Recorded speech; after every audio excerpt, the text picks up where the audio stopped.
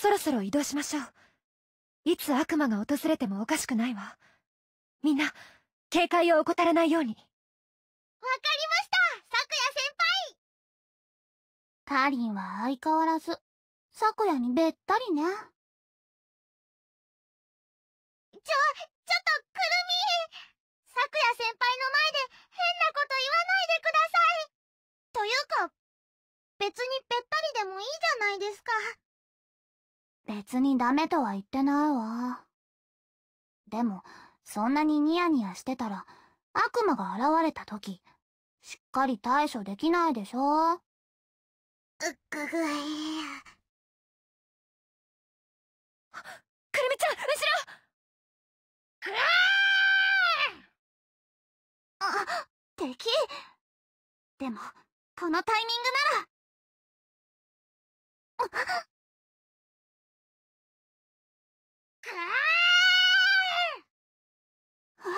カリン。どうなってるの？だってカリンはさっきまで。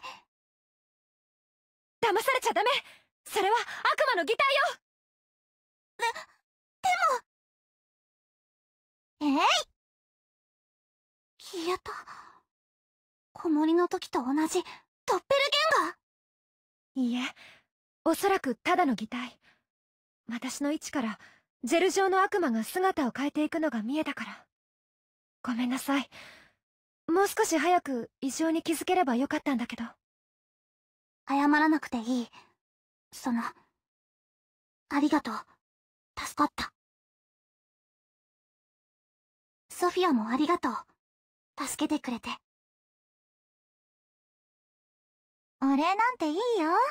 私はただ悪魔を殺しただけだもん。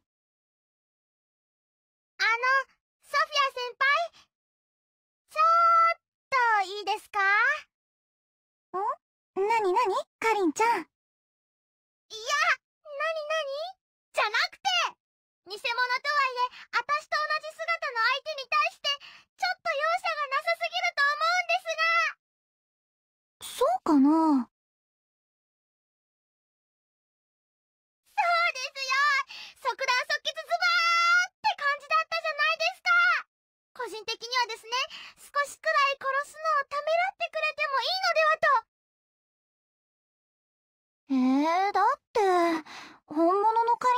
いきなり背後から襲ってきたりしないし、もし本物だとしても、そんなことするかりんちゃんはもう敵でしょ？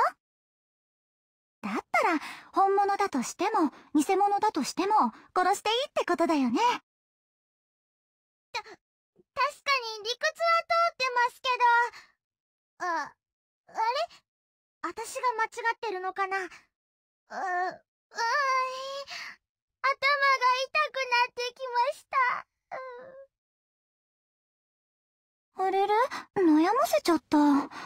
私、そんなに変なこと言ったのかな？ねえ先生、聞いてる？今ね、なんとなく分かった気がするんだ。こういう部分が私がみんなとずれてる、冷たいって言われる部分なんだろうなって。私は私らしく、思った通りに、あるがままに行動してるだけなんだけどね。このままの私って人間らしくないのかな？私、このままでいいのかな？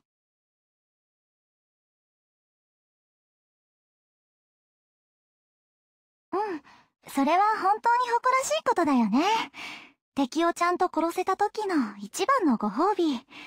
私と周りのみんなが、ちゃんと生きていること。先生の言う通りよ。ソフィアは間違ってなんかない。くるみ、誤解してた。ソフィアの合理的な意思決定は、すべて自分のためになされてると思ったけど、そうじゃなかった。自分と、それから、大切な仲間のため。そうでしょ？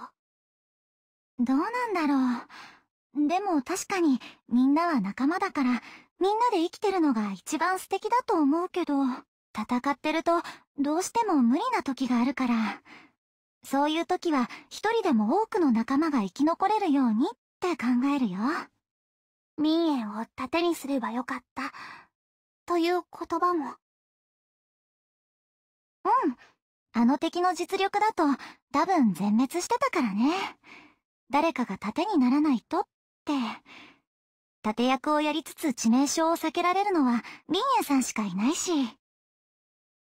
ヨルムンガンドさんが通りかかってくれたからたまたま助かったけど、戦い方を間違ったせいでみんな殺されちゃったかもって反省してたんだ。そう。やっぱりそうだったのね。それは冷たくもなんともない。戦いの中に身を置く人間として当然の状況判断だったわ。ソフィアはソフィアのやり方で、ちゃんとくるみたちの仲間でいてくれたのね。誤解してごめんなさい。ううん。謝らなくてもいいよ。私の考え方が普通じゃないっていうのは多分正しいから。普通を教えてくれる友達がいたら、もうちょっとだけ普通に近づけるかもしれないけど。ここまでずれちゃったら、もう無理かもね。そんなことない。え？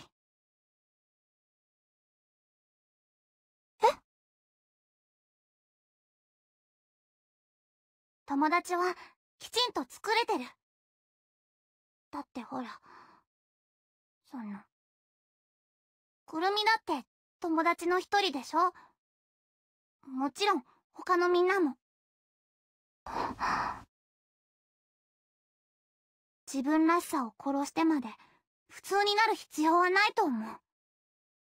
少なくとも、くるみはそんなソフィアを見たくない。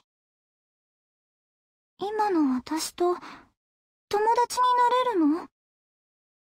もう、なってる。って認識だけ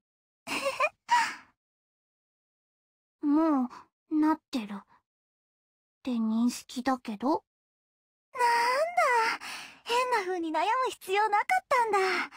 私は私らしく、思ったままに敵をぐっちゃぐちゃに殺してよかったんだね。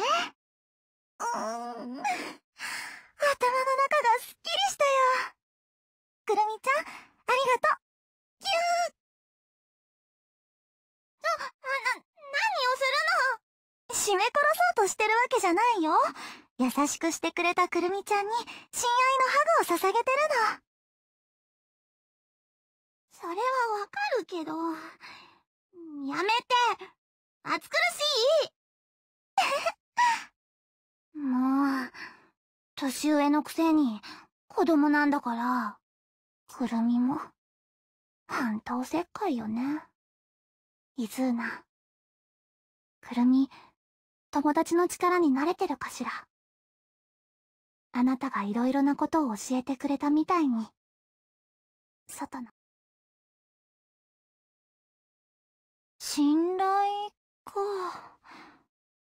確かに私はかりんちゃんを信頼しているからこそ躊躇しないで偽物を殺したけど。先生の言う通りよ。ソフィアは間違ってなんかない。くるみ、誤解してた。ソフィアの合理的な意思決定は、すべて自分のためになされてると思ったけど、そうじゃなかった。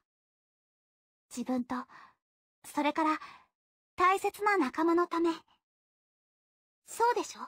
どうなんだろう。でも確かに、みんなは仲間だから、みんなで生きてるのが一番素敵だと思うけど。イズーナ。くるみ、友達の力に慣れてるかしら？あなたがいろいろなことを教えてくれたみたいに、外の自由な世界を教えてくれたみたいに。